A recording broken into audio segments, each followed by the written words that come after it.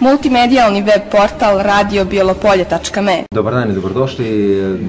Zahvalit ću se medijima koji su naše vrijeme da proprate današnju aktivnost. Naime, okupili smo se ovdje sa kvalitetnim poljoprivrednicima e, sa teritorije opštine Bijelo polje uglavnom i sa predstavnicima poljoprivrednika iz drugih opština kako bi prezentovali projekat domaća web platforma koji realizujemo u saradnji sa e, Ministarstvom poljoprivrede. E, ovo nije aktivnost predviđena projektom, već ovo je jedna naša, ajde da kažemo, volonterska inicijativa kako bi iskoristili lijepo vrijeme narednih dana prije nego što padne list za drveta, što bi, što bi rekli, da porazgova, porazgovaramo sa potencijal, potencijalnim poljoprivrednicima kako bi ih uključili u dalju realizaciju projekta 음, web platforma, odnosno domaća web platforma je također jedan inovativan projekat koji sprovodimo.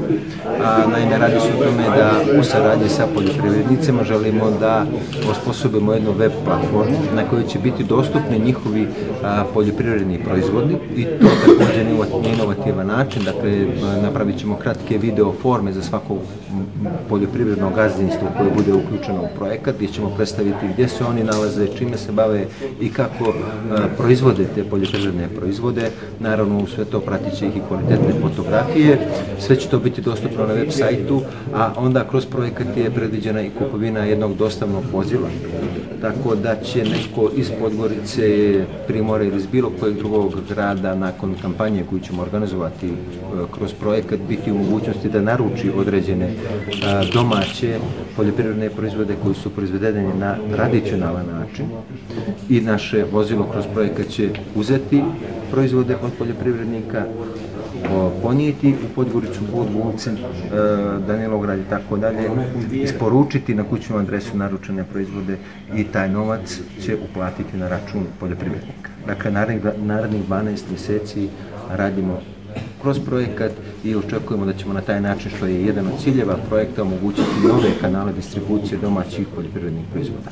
S obzirom da je riječ o poljoprivrednicima, ljudima koji su nekako navikli na taj tradicionalni način -hmm. života, koliko su oni bili spremni da pristanu da budu dio ovog projekta i da li zaista oni u tim nekim novim medijima, kao, riječ, kao što je riječ o platformi, zaista prepoznaju njihovu šansu za što bolju promociju svega onoga što rade samim tim i prodaju.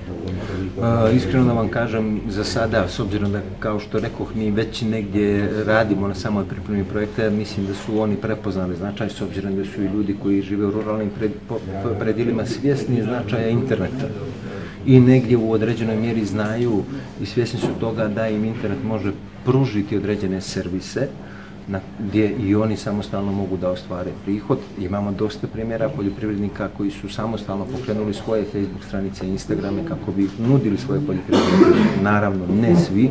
Neko je više kadar za to, neko je manje kadar, a mi smo tu zapravo da im ponudimo jedan profesionalni full servis u tom dijelu. Potpuno besplatno.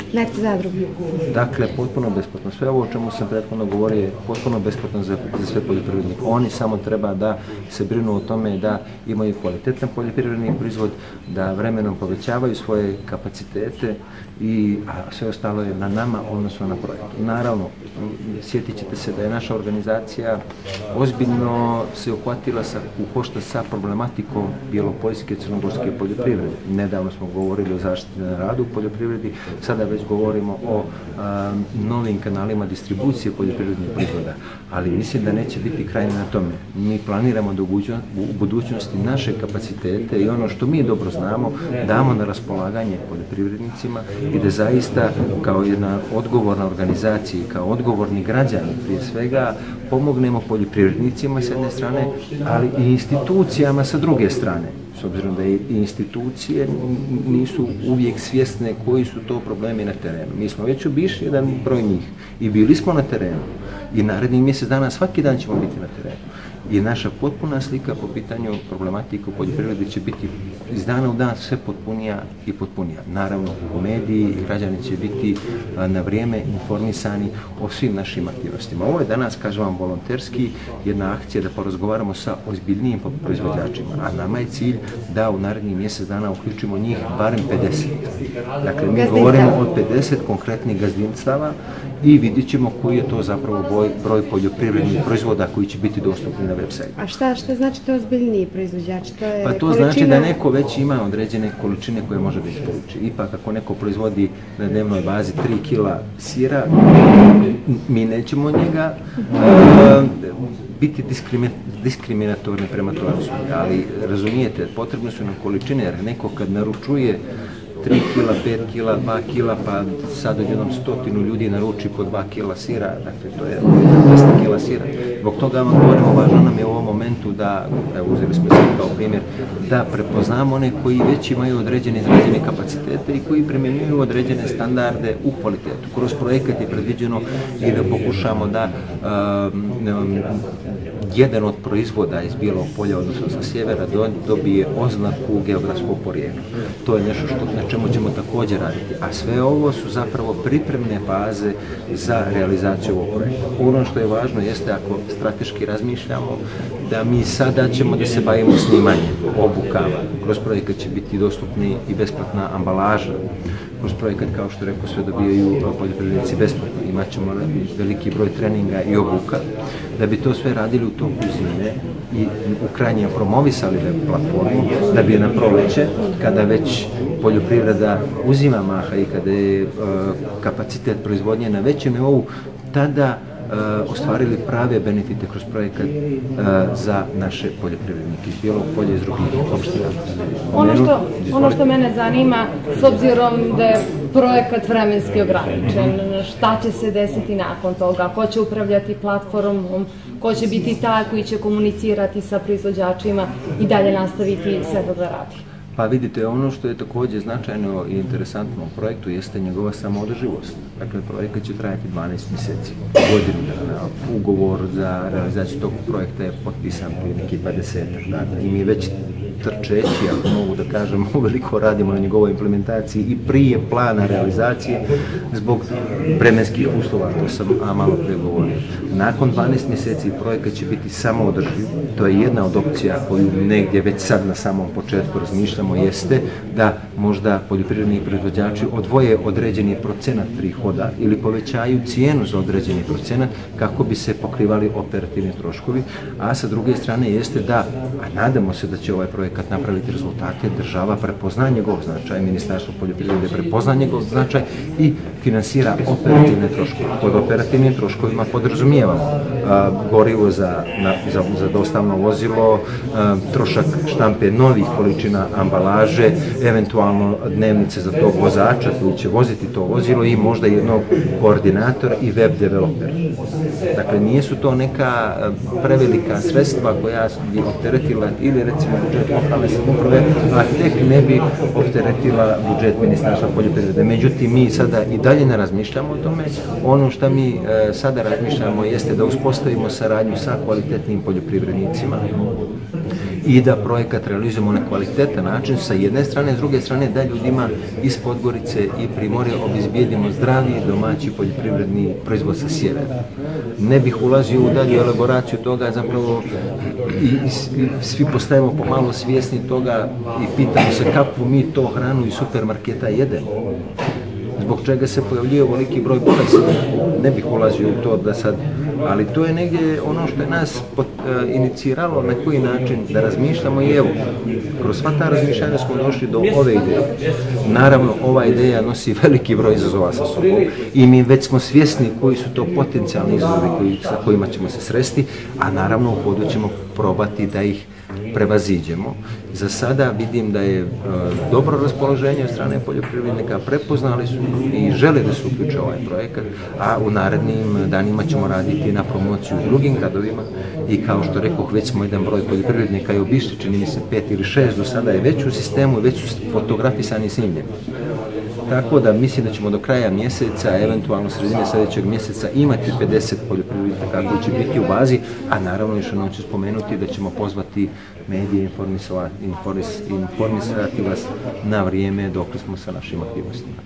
Samo da preciziramo, 50 poljoprivrednika sa sjevera ili iz Bilopolja? 50 poljoprivrednika sa sjevera. Međutim, međutim, za sada u ovoj, kao što rekao, pripremnoj fazi istraživanja primijetili smo da je ipak poljoprivreda najrazvijenija u Bijelom i najveći broj poljoprivrednika. Što znači u krajnjem da ćemo vjerovatno imati najviše poljoprivrednika iz Bijelog polja, ali nećemo zapostaviti ni Petnicu, ni Berane, ni Kolašin, ni Mojkovac. To nam je taj neki target zon opština. Kolašin, naravno, lisnati sir, Pljevlja. e, pljevlja već nisu nam logistički e, na toj ruti prema Primorju, tako da u ovoj prvoj fazi nismo mogućnosti, ali to ne mora da znači da u budućnosti nećemo osmisliti neki novi, takođe inovativan način da uključimo i predstavnike, odnosno poljoprivrednike i iz drugih opština. Ja sam Lučko Pešić, poljoprivredni proizvođač iz Tomaša oko Bilopolja.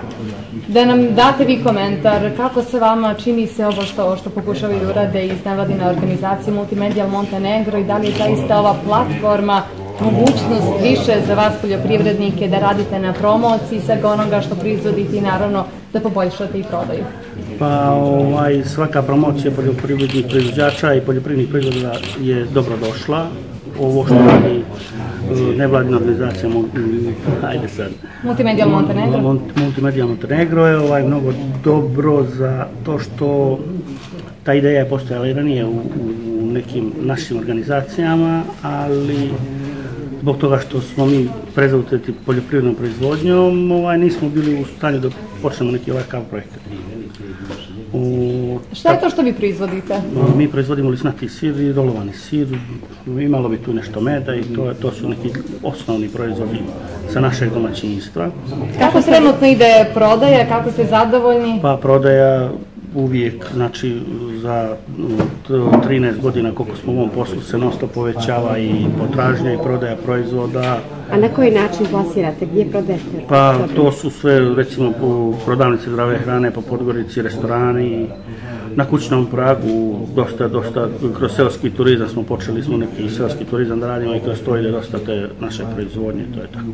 U slučaju da se ovo realizuje na pravi način, da li ćete imati dovoljno kapaciteta da, da povećate zapravo količinu proizvoda? Pa ja, ja upravo smatram da dobar dio poljoprivrednih proizvođača neće moći da ispoštuje, da ispoštuje količinu i onda se nadam s tim što je starostna struktura u, u našim selskim poljoprivrednim gazdinstvima ovaj, dosta, dosta je staračko domaćinstvo, dosta je, slabo je malo mladih ljudi koji se bave ovim poslom, slabo se uključuju da rade ovaj posao, prije napuštaju selo, Postoji pomoć, pomoć Ministarstva poljoprivrede za mlade poljoprivrednike koju smo mi iz, pošto sam član upravnog odbora Unije stočara, predložili da to bude drugačije, ovaj, da tih 10.000 koje daju dadnu mladim ljudima koji su već na selu, koji su bračni parovi imaju djecu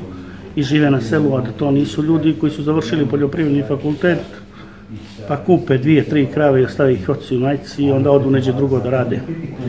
Da ih dadnu, da tih desetak hiljada dadnu ljudima koji već žive na selu, ovaj, mi smo tražili da to bude i veća cifra, da bude neki kredit od 30-40 hiljada i da se vraća na 20 godina, s tim što bi se pola vraćalo, pola ne, i da se uloži normalno, da se sredstva vide kako se ulože.